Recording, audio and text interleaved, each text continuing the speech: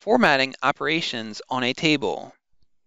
As you saw in the previous section, you can place tables in MicroStation using the Place Table tool. Once placed, you can perform formatting operations on a table.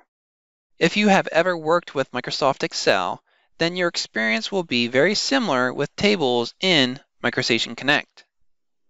In this section, you will learn to delete rows, set text alignment, adjust width of columns, and change text styles within a cell. Continue in the Sheet Index DGN file from the DGN Roadway folder of the SR20 project. Make the Edit Text tool active and identify the text element Drawing Sheet Index. In the text editor, change the text style to Civil Proposed and make sure that the justification is set to Middle Center. Issue a data point into the view to commit the change. Make the Element Selection tool active and then identify the table. Take note of the Table contextual tab along the ribbon when you selected the table. Select column B, sheet number, and make it center justified. With column B still selected, enter 0.7 into the width field. Select column A and make the width 1.1.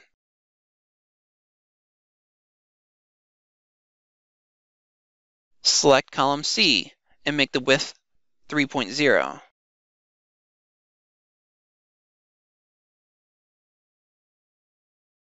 As it is, the table's vertical length extends outside the border. You can break or split a table into two or more tables using the table break settings. When you select a table, the Add Table Break icon appears at the bottom of the table.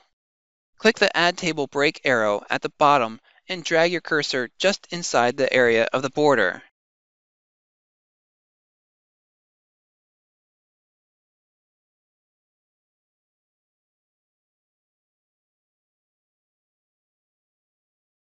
With the table still selected, open the Properties dialog. From the Properties dialog, in the top pane, ensure that Elements or Table is selected. Then, in the Breaks category, set Repeat Headers to Yes.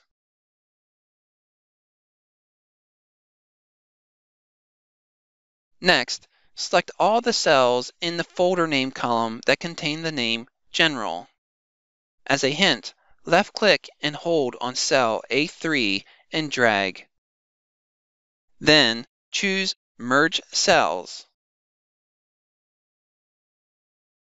Now that you have merged the cells for the general folder, repeat this step for the other folders. Survey, Utilities, and E&S.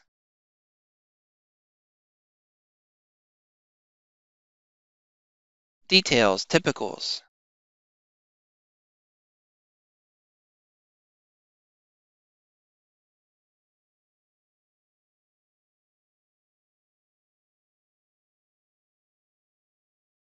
Roadway plans,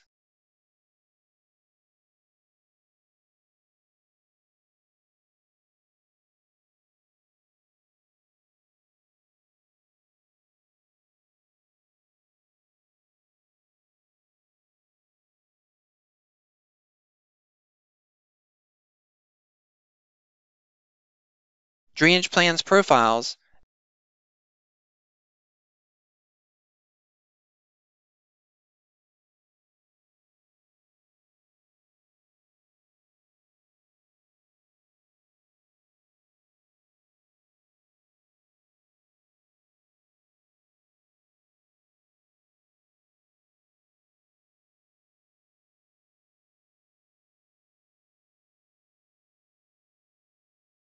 and drainage details.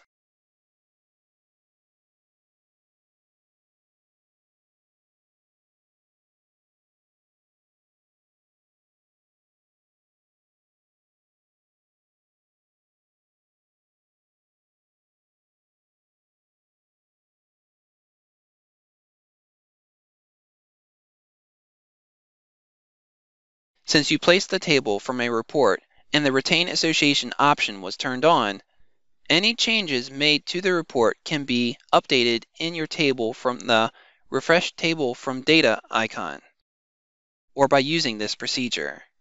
Select the table. The row and column headings display. On the top left corner, above the row headings, right-click and select Refresh from Data Source.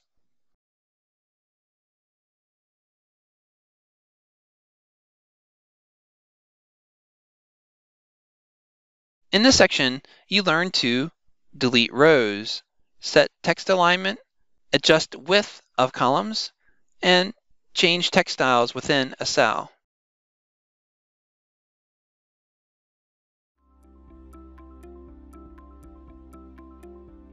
If you found this video helpful, please give it a like. If you want to see more such series, consider subscribing to our channel.